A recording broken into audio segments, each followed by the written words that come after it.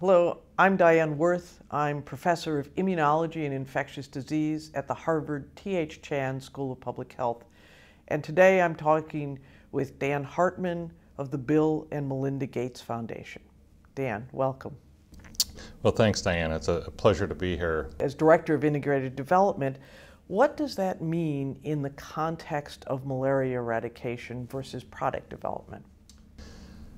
So, in product development, we are constantly thinking about how to pull all of the different pieces together, um, whether it's a clinical plan, a regulatory strategy, a manufacturing plan, uh, a toxicology plan, thinking about the sequence of these various activities and how to do that in the most efficient, cost effective way. As I look at all of the research being done in malaria, they tend to be one off you know, we're going to answer this question, and then we're going to answer the other question, and then the subsequent mm-hmm. question, and you have a whole bunch of questions being answered. But how do you integrate all of those different results into a cost effective way to eradicate malaria? How do you think about the combination of various vector control tools?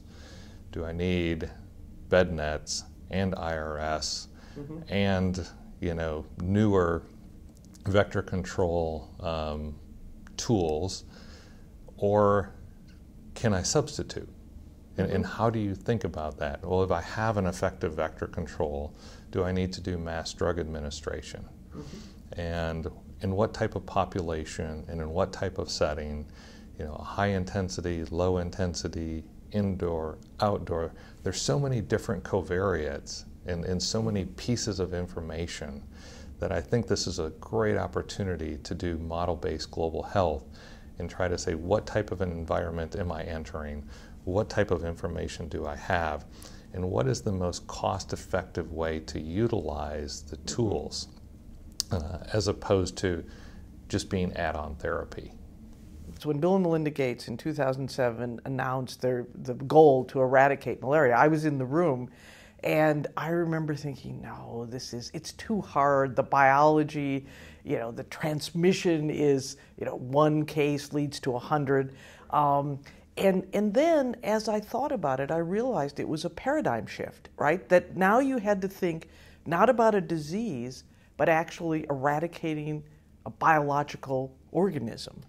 And that's a very different thing. And I think that paradigm shift you see reflected now in the research and the implementation. We are now focusing much less on disease. Clearly, disease is important, but we're focusing much less on disease than we are on how do we get rid of the organism and its transmission. As I've been working with a team, and, and we fund a fair amount of research, mm-hmm. the, the one question that we always ask is how will this help us eradicate malaria? Mm-hmm. And, and it's been interesting to, to think through that in the grants that we make and, and how, how we're approaching all of our work as opposed to you know thinking like a physician like I am to okay I see a patient I treat a patient. You've talked a bit about evaluating um, the the current tools in terms of will they uh, contribute to eradication, but where do you see the holes in the toolbox? Where or where are the missing tools? As I've been looking at and mm-hmm. trying to evaluate the current toolbox, one of the things that I would love to see us develop is something that is less reliant on human behavior. Because mm-hmm. I think human behavior is so difficult to change. And, you know, if we look at, at polio, um, there mm-hmm. a human behavior required for the eradication of polio. You have human behavior on the part of the vaccinators. They have to go out, they have to find everybody on the planet. Mm-hmm. The places that they're challenged most near their, their end game is areas with social strife. Um, and, and in malaria, because of the vector, there may be opportunities to think about a tool that doesn't require one human being interacting with another or one human being mm. taking a medication for a given period of time. And we know adherence, even in the best situations, right. is, is challenging. Uh, you know, what if we could alter the vector with minimal human behavior? it's an interesting idea. You know, it, it gives the opportunity to think in a completely different way, not focus at all on the parasite, but focus on the vector. I, th- I think other things that we're looking to do is to reduce the um, reliance on continuous medication for P. vivax. Can we go from a 14 day regimen to a single dose? Mm-hmm. Um, the, the single dose would be, I think, beneficial in multiple different ways, both for, for treatment, uh, because the most common regimen is a BID mm-hmm. Three days in a row. Right. Um, what if you could do that in a single day? You know, yeah. what would happen yeah. to resistance? Because mm-hmm. you would be, you know, getting a full dose in a, in a single day, as well as thinking about um, mass drug administration. If that's a tool that would help us eradicate malaria, uh, it's a lot mm-hmm. easier to do mass drug administration if you're giving a single dose than if you have to come back multiple times. Mm-hmm. Uh, so, again, I think that also relates to taking the human behavior factor out of it. Good. In fact, one of the challenges as we talk about products, whether it's uh, genetically engineering mosquitoes or it's new drugs or vaccines, one of the big issues is the regulatory issues. How do you take things from discovery and get them uh, approved, particularly in situations where it's a, a, new idea? It's not something that the industry uh, has done before or, or rarely does. And I know that you think about this a lot, and I'm, I'm wondering what your perspective is, what the approach will be one of the things that we try to do and, and are doing more frequently today is integrated development, mm-hmm. of which integrated development includes what is your regulatory strategy. Mm-hmm. And it's really hard to plan if you don't know what your end is going to look like. Mm-hmm. So, early interactions with regulators, talking to them about new products, what could these products be, what could the endpoints be, and then developing a strategy on how to get there in, in the most effective way. Mm-hmm. Again, remembering that most products fail. Right. So you, if you don't know where you're going and you don't know what the steps are going to get there, if you do fail, you're likely to fail late as opposed to failing early, mm-hmm. which is a very expensive endeavor. Being able to make a clear case as to why you think a product would be safe and effective or have an appropriate risk benefit in a given situation uh, is is obviously necessary mm-hmm. and then having the the open discussions with various regulatory agencies and sometimes I see us thinking more developed world regulatory agencies mm-hmm. but what we really need to do is to go to the communities that we work and get their perspectives on risk benefit. Mm-hmm. I think that's a very important point. Uh, you know, because it, it is a different population that's going to uptake almost everything that's developed during this phase of, of the elimination eradication campaign. I had a, a fascinating discussion with one of my colleagues from Senegal, mm-hmm. and he was telling me about malaria in the 1990s. And he was the, you know, one of the chief physicians at this hospital in Senegal, and chloroquine resistance hit their area. And he said, you know, I would sign 20 to 50 death certificates a day. Yeah.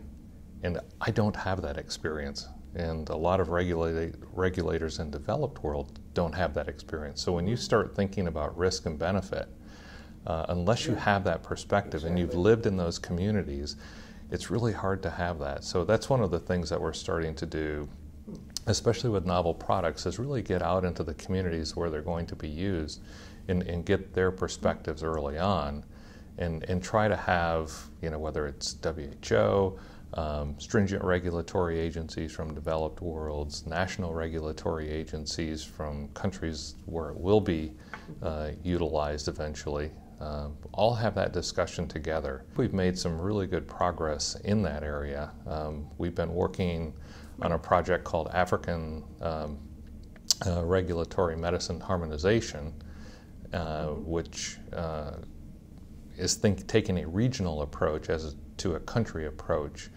for product introduction. Because most of the countries don't have a very well developed regulatory uh, agency. There are a few, but for the most part, in Africa in particular, other than South Africa, I think there's relatively little local expertise in country. But from a regional perspective, um, that could be of interest. We're, we're trying to do multiple things with this approach. So, one is to get a critical mass, as you were describing. Right. So, we can take the East African community, pull their resources and their, and their best people together, and have them do like dossier reviews. That, that's a positive mm-hmm. thing. Uh, the way we're, we have it set up right now is we're bringing in other regulators, like whether it's Swissmedic or folks from WHO or other stringent regulatory mm-hmm. agencies, to help answer questions that they might have. And they're also relying on other stringent regulatory agency reviews.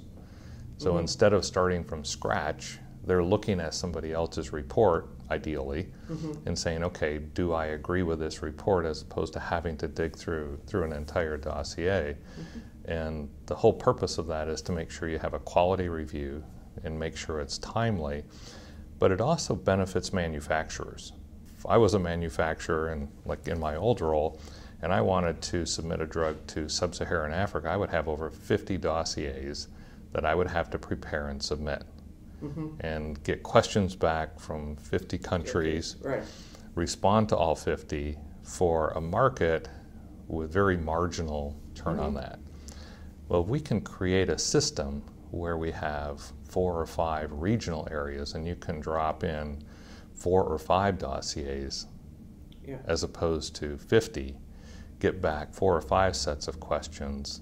Mm-hmm. Um, and, and have a general format that everybody's agreed to that would dramatically reduce the, the burden uh, on the manufacturers. We did a study about three years ago looking at the time it takes for a product to go through the entire regulatory system and get to people in developing countries. In right. developed countries, it's about 9 to 12 months. In developing countries, especially in sub Saharan, sub Saharan Africa, we found it's about four to seven years. And it's usually approved in the developed world, goes to WHO for pre qualification, mm-hmm. then it goes to the national regulatory agencies for their review and approval. Mm-hmm. Frequently, that none of those three groups were taking advantage of prior reviews. So they were doing de novo review each time? De novo review each time. And that obviously lengthened it by 3x just if you did that in, mm-hmm. in, in the ideal situation. The other thing that we found is manufacturers, because they had to apply to each country, the, the spread of their submissions of dossiers was sometimes up to four years. Right, because it, it had to fit into their workflow. Exactly. Right. What we're trying to do through this harmonization effort mm-hmm. is to support mutual reliance and, and minimize I would say, non value added activity of applying to each different country as opposed to regions. And mm-hmm. we've had some, some great success in East Africa, and, and now this approach and this harmonization effort is moving into West Africa. Right. South Africa already had started something on mm-hmm. their own. At WHO pre qualification, we found that the drug side was relying on stringent regulatory agency reviews, but the vaccine side wasn't. And there was about a 13 month difference in review time between drug and vaccines. That was a relatively easy mm-hmm. change to do. Um, and, and, and now the timelines are, are much better. Um, looking at mutual reliance of national regulatory agencies right. on, on either WHO or other stringent regulatory agencies' reports has again streamlined it um, mm-hmm. Single dossiers as opposed to multiple.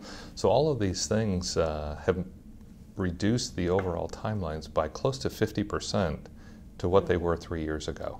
And it also strikes me that there's an enormous capacity building potential here because uh, as as this develops, perhaps the Africans will even be able to do standalone approval uh, at the highest level because at some point perhaps that's the right strategy for registering a product that's going to be either primarily or only used uh, in, a, in a malaria endemic country. I think that really is where we want to go, and the regional approach makes sense. Mm-hmm. Uh, to, to try to stand up 50 plus, you know, high quality regulatory agencies, even within the next decade, I think would be almost impossible. Exactly, and, and also not productive because malaria is going to have to be solved on a regional level. You know, the disease doesn't know borders. That's something that's becoming accepted as a, as a mode of interaction between countries. What advice would you give to people early in their career or even pre career? What kinds of things do you think are important for people to think about? I, that's a great question. I I think that as scientists and physician scientists, we underestimate the importance of leadership training. I went through 15 years of post high school education, and 99% of it was science based. The leadership component is a totally different component, and, and I think it's one that can be learned. For the last almost 20 years, I read some type of leadership book every quarter. I take time out of my busy schedule to take some type of course that I think will help my career development. Whether it's, mm-hmm. you know, I've taken courses on implementation management, change management, decision quality, uh, a variety of leadership courses.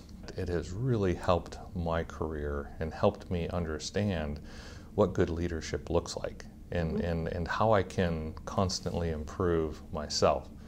I, I think career development has to start with the individual. Nobody is going to develop your career for you.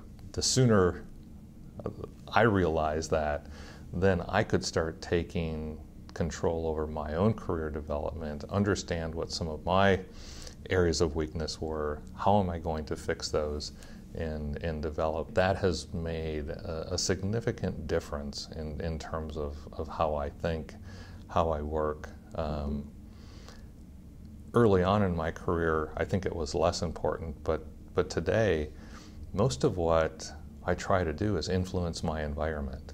Mm-hmm. And, and certainly, I try to do that through scientific you know, discussions and, and arguments, if you will. But a lot of it is, is I think, some of the softer skills, whether it's a, an emotional intelligence component mm-hmm. or you know, how, how do you think about decision quality? Uh, mm-hmm. Which is some, something that we tend to overlook. We think we all make great decisions, but you can actually tell did, did you have a quality process in your decision making at the time you make the decision, irrespective of outcome? Interesting advice because I agree. We, we don't spend a lot of time teaching people how to lead or, or systematically how to make decisions. We know how to test a scientific hypothesis or follow a protocol, but, but we, don't, we don't focus on how do you get to decisions and how do you lead people to decisions. Well, thank you very much. It was uh, wonder, wonderful that you could spend time with our students. Thank you, Dan.